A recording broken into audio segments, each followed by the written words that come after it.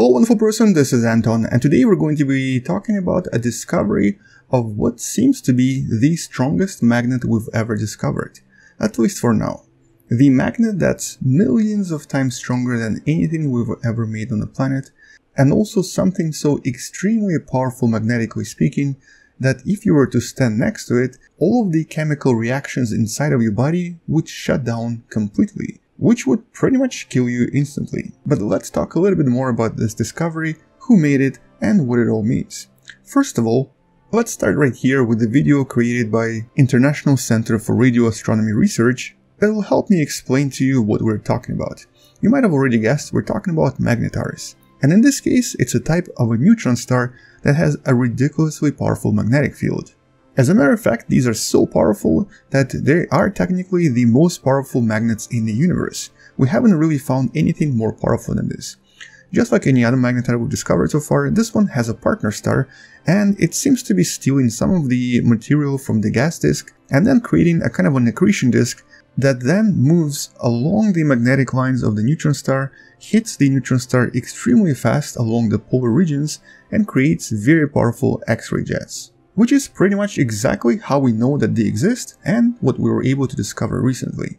But first of all, who discovered this, how did they do it, and what did they use for this? Well, it was actually the first major discovery coming from the first ever space telescope launched by China. And even though China has been getting a lot of negative press around the world, especially this year, this particular telescope is pretty impressive. It is officially their first space telescope, I guess you can call it their first Hubble telescope, even though unlike Hubble it's not really able to see in the optical light, it's really mostly meant for all sorts of X-ray observations with the main results and the main uh, purposes of this telescope being right here. And not surprisingly, this is also the telescope that China is currently using to try to develop techniques for pulsar navigation, which is a technique that uses pulsars and uses neutron stars for deep space navigation, something that we do need to have if we want to get better at exploring the solar system and also possibly even move farther than that. And this was only three years ago, so for the past three years, this telescope has been actually providing a lot of amazing data and it has been used by different scientists to discover different things.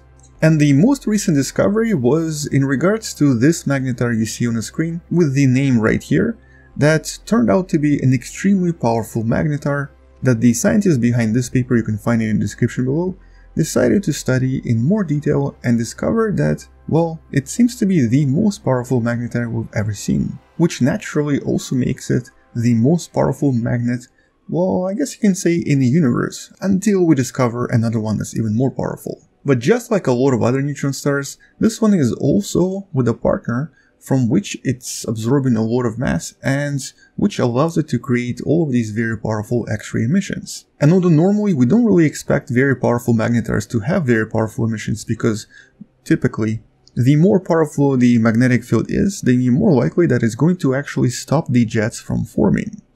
But in the last few years, we've also started discovering unusual exceptions to this rule where certain magnetars could actually possess very powerful X-ray emissions as well, and this is just one of those uh, unusual exceptions. But I guess the question is, so how powerful is this magnet anyway? And let's compare it to something that you might be more familiar with.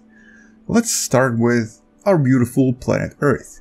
So even though our planet's magnetosphere technically is kinda strong, Overall, the magnetic field, especially as you go across the planet, is pretty weak. And in this case, we normally measure magnetic field or magnetic flux as it's known in Teslas, with the strength of Earth's magnetic field being about 31 microtesla or millionth of a Tesla.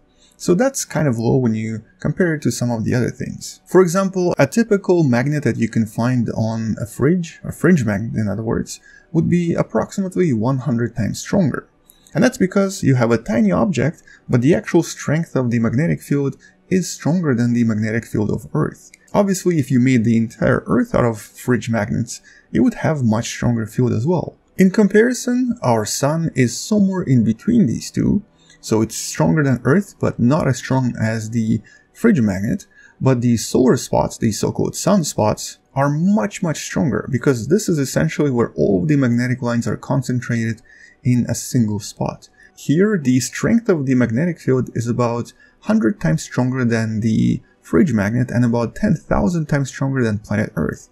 So this is a pretty strong magnetic field and, well, it does get stronger. A very good example of a powerful magnet we've been able to produce, that by the way has its origins in NASA if you didn't know, is an MRI machine that's able to produce something around 3 Tesla.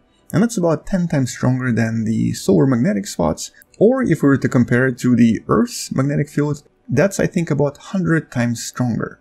So these are extremely powerful magnets that we've been able to produce for uh, medical reasons and they're extremely useful today. But there have been experimental magnets with even stronger magnetic fields, even experimental MRIs.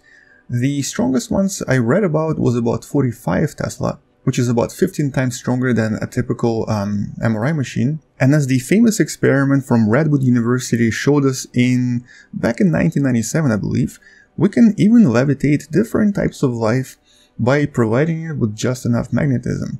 This experiment was actually famous because the scientists were able to successfully levitate a frog by using a magnet that was about 16 Tesla in strength.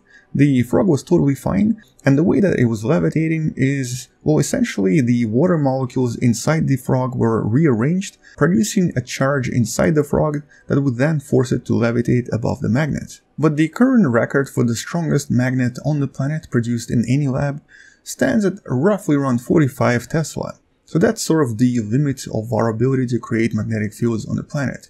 Even the particle accelerators don't produce as strong of a magnetic field. So anything stronger than that can only be found in space. And it actually starts with white dwarfs that have magnetic fields that are usually about 100,000 Tesla, but neutron stars beat everything in the universe. So normally this is in hundreds of thousands, and in this particular case, this neutron star, this magnetar, had the magnetic field of 1 billion Tesla, which is not something that's very easy to imagine. It's a really, really big number, and it's an extremely strong magnetic field. And when magnetic field gets so strong, even the actual atoms and subatomic particles start to act funny. For example, in these incredibly strong magnetic fields, the vacuum itself, the empty space itself, starts acting differently. Because of these extremely powerful fields, the emptiness of space starts to act as a kind of a crystal, so the light here starts to move slower. It's nothing to do with the material on the inside, it's still vacuum, but it just starts acting strangely. This also stretches the atoms from being relatively spherical in shape to being extremely extremely elongated almost to the point of their limit. They basically turn into tiny tiny strings. But don't get confused, this is not the same as spaghettification near black holes. This is a completely different phenomenon with very similar effects. Even the simplest atom in the universe, hydrogen, becomes elongated and turns into a very long spindle about 200 times longer than it is in thickness. So everything changes, everything becomes very unusual, and things start acting much different from how they act here on Earth.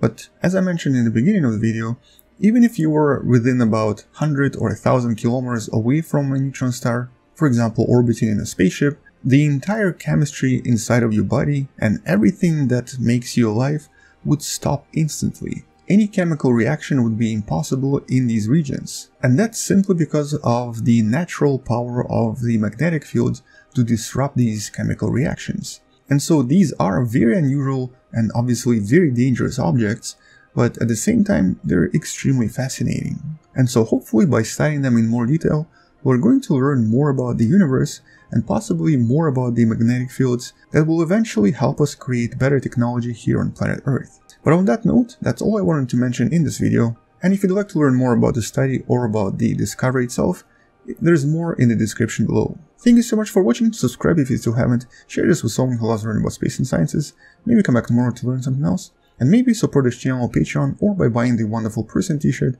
you can find in the description below. I'll see you tomorrow, space out, and as always, bye bye.